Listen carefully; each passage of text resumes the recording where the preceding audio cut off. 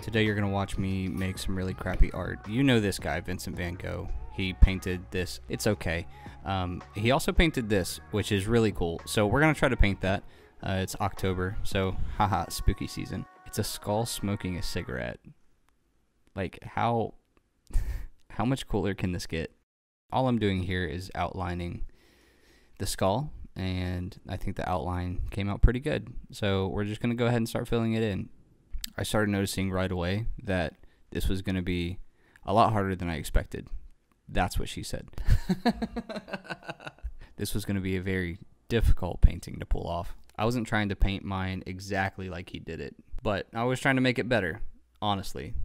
And I think I did. I'm really happy with how it turned out. Um, yeah. My dad's calling me. I gotta go.